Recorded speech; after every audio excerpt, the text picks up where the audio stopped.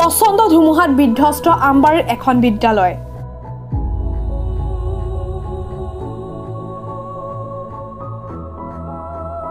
দেওবাৰে অহা প্ৰচণ্ড ধুমুহাত ধ্বংসস্তূপত পৰিণত বিদ্যালয়ৰ প্ৰতিটো গীত।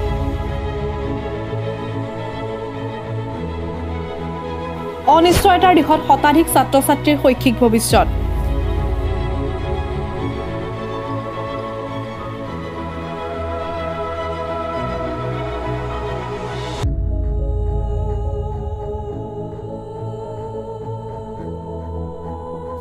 উল্লেখযোগ্য যে যোৱা দেওবাৰে অহা বিধ্বংসী ধুমুহাই সমগ্ৰ হোজাই জিলাত ব্যাপক ক্ষতিসাধন কৰে।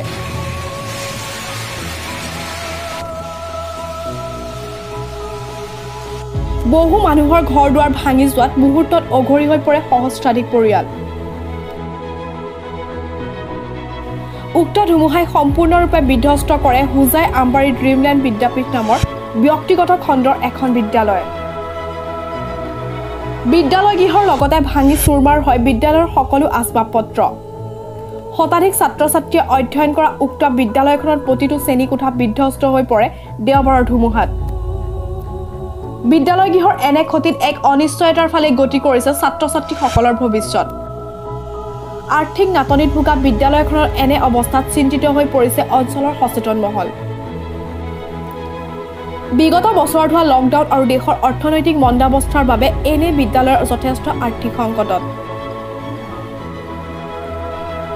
কোনোমতে চলাই গৈছে বিদ্যালয়ৰ যাৱতীয় কাম কাজ এনে অৱস্থাত বিদ্যালয়ৰ এই ক্ষতিয়ে চিন্তিত কৰি তুলিছে বিদ্যালয় পৰিচালনা সমিতিক এনে আৰ্থিক ধন্যতাৰ মাজত কেনেদৰে বিদ্যালয়খন আকৌ পুনৰ নিৰ্মাণ কৰিব সেয়াও এক ডাঙৰ প্ৰশ্ন। ছাত্ৰ ছাত্ৰীৰ ভৱিষ্যত আৰু বৰ্তমান পৰিস্থিতিৰ প্ৰতি লক্ষ্য ৰাখি বিভাগীয় কৰ্তৃপক্ষই এক উপযুক্ত সিদ্ধান্ত ল'বলৈ অঞ্চলবাসীয়ে দাবী জনাইছে।